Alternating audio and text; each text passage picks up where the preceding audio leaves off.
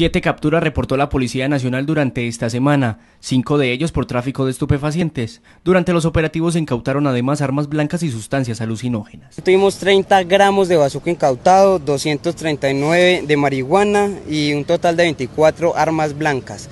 También hubieron dos capturas muy relevantes. La primera fue de una tentativa de homicidio se presentó en el sector de Ferromesa.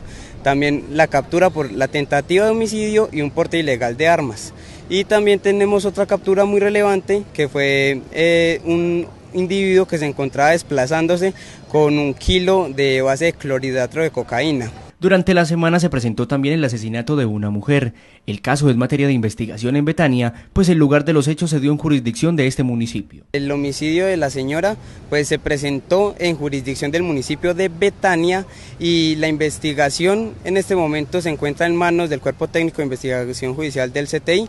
Eh, todos los hechos son materia de investigación por el momento. En otros hechos, un hombre fue hallado en la ribera de la quebrada La Chaparrala, donde al parecer después de propinarle algunas heridas fue incinerado. Este señor fue encontrado en este lugar, pues también el caso lo tiene el Cuerpo Técnico de Investigación Judicial y se están eh, investigando tanto móviles como los posibles hechos que llevaron a, que ultimaran el señor. Hasta el momento no se sabe, ¿alguna hipótesis por parte de la policía frente a este hecho? No, sería muy apresurado entrar a nosotros discernir sobre este caso. El teniente invitó a la comunidad a colaborar con las autoridades en busca de hacer efectiva la acción policial.